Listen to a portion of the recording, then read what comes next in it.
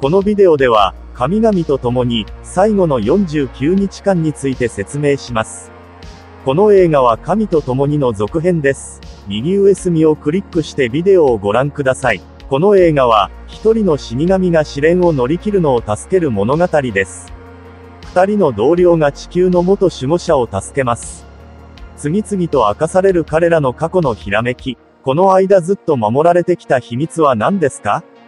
神々と共に、最後の49日間で調べてみましょう。神々と共に、最後の49日間は、ガンリムと砂の兵士の群れに対して死ぬまで戦わなければならない死神親孝行の地獄で、ついにヨムラ王が到着し、戦いを止めます。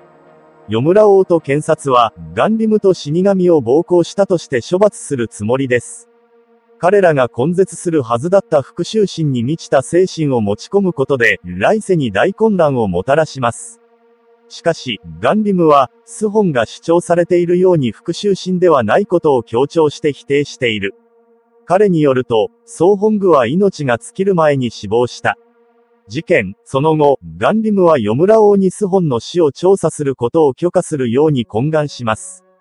死神としての地位と特権をしっかりと危険にさらす彼の言葉を考慮した後ヨムラ王はついにスホンに裁判に参加する機会を与えることに同意した地獄で、ガンリムと死神がスホンの死の原因を明らかにできるようにします。でも、ヨムラ王は他の条件を提示した。スホンの49日間の裁判で管理務そして死神はもう一人の精霊を連れてくる必要があります。家の神である孫樹が彼を守ってくれたため、彼の寿命は過ぎました。死んだすべての死神チュンサムの命を奪うために派遣されたが、恐ろしい力をはるかに凌駕する孫樹にいつも邪魔されていた死神。熟慮の末、ヘオン幕と毒チュンが引き受けることに決定ガンリムはスホンを地獄の試練に護衛する。人間界でヘオンマクとドクチュンはソンジュとヒョンドンという少年を観察するが、シュンサムの孫。人間の姿をした神は、ヒョンドンによく似ている。ソンジュが留守の間、ヘオンマクとドクチュンはソンジュの正体を探ることにした。鍋と言われるチュンサムの家で、後で彼らは破壊することを期待して破壊しますソンジュとチュンの命を奪う。しかし、ハウンマックは間違ったポットを推測したので、最後に、彼と孫樹は戦い、孫樹は簡単に彼を打ち負かしました。その時へ音幕とドクチュン来世で直面している状況を説明しながら神に謝罪した。しかし、孫樹はうっかり二人のことを生前から知っていたことを明かしてしまう。孫樹はその後、ヘオンマックとドクチュンがチュンサムの命を奪うことを許可すると言います。ヒョンドンは8月、または今から約40日後に学校に入学します。神は彼が気にするだけだと主張しますヒョンドンのことを考えていて、祖父が今死んだら子供を苦しめたくない。彼はおそらく、人生に家族や親戚がいなくなって、とても悲しくてイライラするでしょう。ヘオンマクとドクチュンは死後の世界に戻り、ガンリムに神の要求を伝える孫樹と彼がとても強いので、ヘオンマクは彼を倒すのに苦労しています。ガンリムらしい気にせず、彼の二人の死神に別の方法を考えて、シュンサムを連れてくることができるように言います。割り当てられた制限時間が切れる前に、精霊を死後の世界に送ります。その後、ガンリムが餌をあげる彼らが不正の地獄に早く到達できるように、総本部は巨大な魚に向かいます。途中、彼らは通り過ぎる怠惰の地獄と、生涯の怠け者がどのように過ごさなければならなかったかを詳しく見てみましょう。石でできた巨大な粉砕機がそれらを粉砕するのを避けるために、時代を駆け抜けてください。一方、人間界では凶悪犯がチュンサムの家を荒らし、借金を取り立てようとしていた。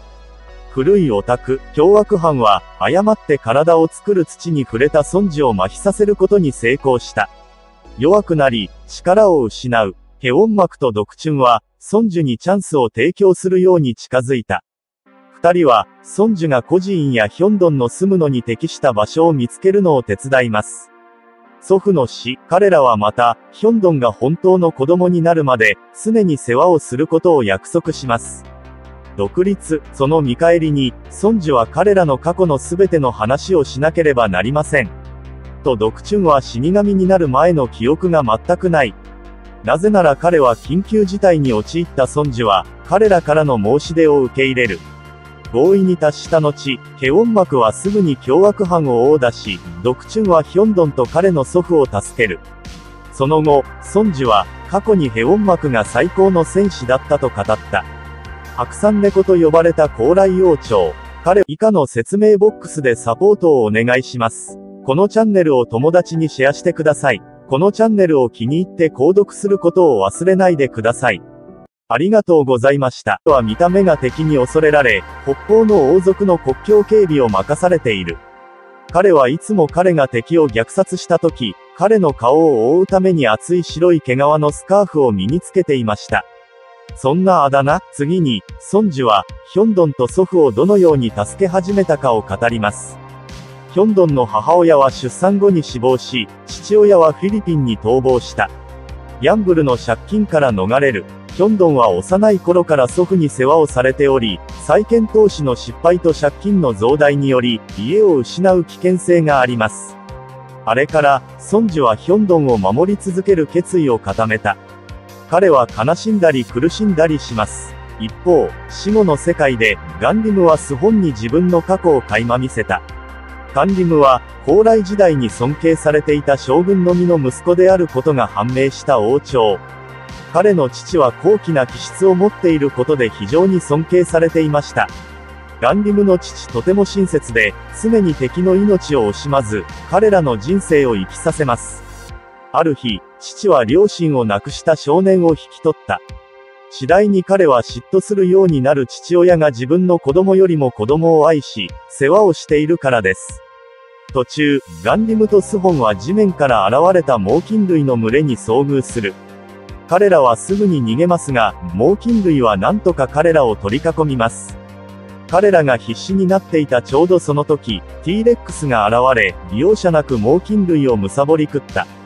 ただし、T レックスもそれらを捕食しようとするため、完全に安全というわけではありません。突然、より大きな恐竜が現れ、彼らを生きたまま飲み込みました。ガンリムが明かす恐竜の群れは、巣本内の恐怖から生じました。しかし、それらを飲み込んだ恐竜は、どうやら彼らを殺すつもりはなく、代わりに彼らを次の地獄の試練に導いた。他の場所では、ヘウォン幕とドクチュンはソンジュとヒョンドンを孤児院に連れて行く。ただし、彼らはヒョンドンの法定後見人ではなく、法定代理人から委任状を取得することはできません。児童の保護者である場合、孤児院は適用される規則に従って彼を受け入れることができません。孫樹が子供たちと遊んでいるドクチュンを見ていた時、神はそれを明らかにした。ドクチュンもとても思いやりがあり、前世で村の子供たちを愛していました。孫樹は、高麗の兵士がドクチュンが住んでいた村を攻撃した時、彼女は村の子供たちを救おうとしました。彼女はそれから彼らを真ん中に避難所を探すために連れて行った兵士がそれらを見つけることができないように森のある日、ドクチュンが薬を探していた時森の植物、虎が彼女を攻撃しました。幸いなことに、その時へ音幕が近くにいて、彼女を救ったヘオン幕はドクチュンが敵だから殺そうとした。でも学んでからドクチュンが孤児の世話をしていたことを知ったヘオン幕は、彼の命を救うことに決め、代わりに、彼女が子供たちの世話をするのを手伝いました。数日後、孫樹たちはヒョンドンが孤児院に留まる方法を再び探しています。彼らはで偽の証明書を作成します市民登録簿は、チュンサムが聴覚障害のために子供の世話をすることができないことを示しています。しかし、彼らの計画は、ヒョンドンの養子縁組を要求することを提案するそこの警官によって捉えられます。しかし、シュンサムはその選択肢をきっぱりと拒否し、ヒョンドンの世話をするまで主張します。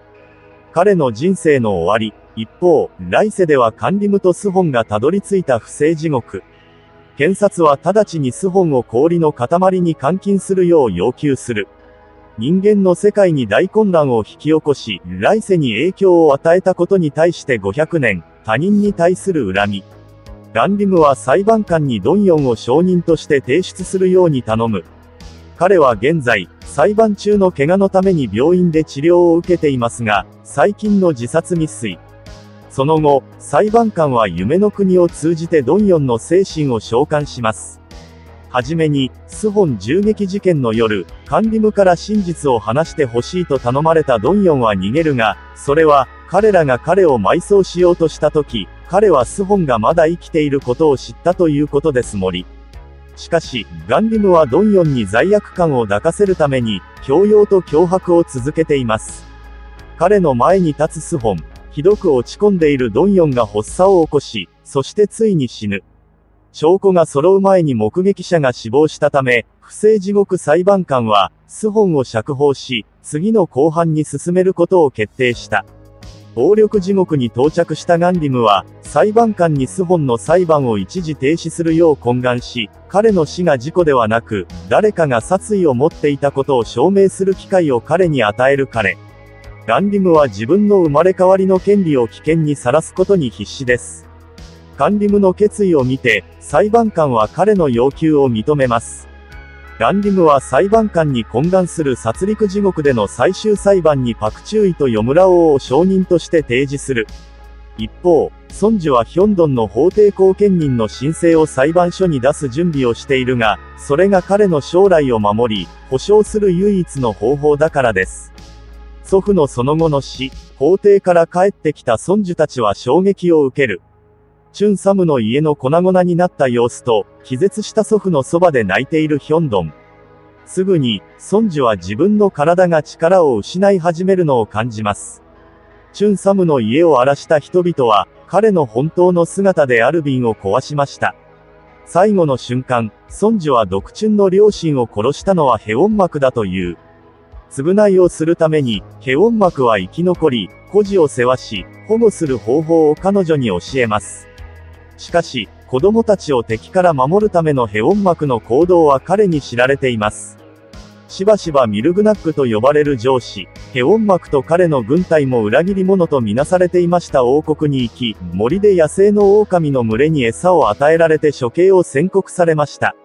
ヘオン幕は、負けなければならなかったにもかかわらず、空腹の狼の攻撃から身を守ることができました彼のすべての部下。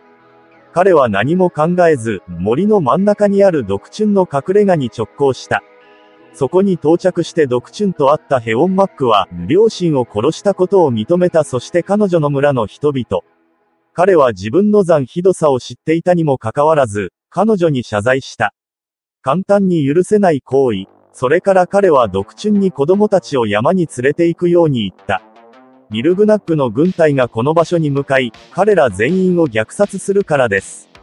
聴覚エ音膜の深い後悔、ドクチュンは彼を抱きしめながら彼を許し、彼らは涙を流して別れた。しかし、ケオンマクとドクチュンが自分たちの人生の終わりについて尋ねようとした時、ソンジュの遺体は完全に消失し、チュンサムのデスノートが戻ってきた。ヘオン幕は、すべてを逆さまに見るという孫児の最後の言葉の意味に気づきます。真実を見つけます。虐殺したヘオン幕の上司であったミルナグが明らかになった彼の軍隊と彼を殺したのは、実際にはガンリムでした。彼らは何千年も一緒にいる死神としての義務を果たします。ヘオン幕とドクチュンの最後の思い出彼らの生活はゆっくりと回復します。ちょうどその時、カンリムがヘオン幕を裏切りの罪で虐殺した後、ドクチュンが突然やってきてガンリムの腹を突き刺した。惜しみなくガンリムその後、ドクチュンを残酷に殺します。しかし、ドクチュンが致命傷を負わせたため、ギャングリムは死にかけている。彼の死の前夜、ヨムラ王と死神たちが彼のところにやってきて、ガンリムが自分の罪を償い、好きな形に生まれ変わることができるようにするための取引。そんな中、ガンリムとスホンが殺人地獄に到着。ガンリムはパクチューイにスホンの銃撃の夜に何が起こったのかを明らかにし、そこで彼とドンヨンはそれを知った。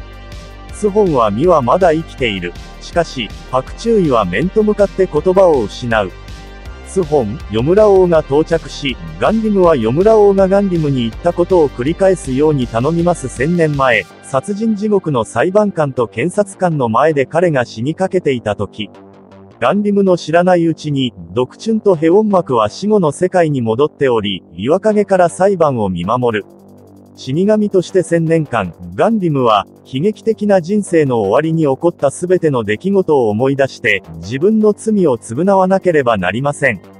彼は自分の妹と罪のない少女を殺したことを深く後悔して生きなければなりません。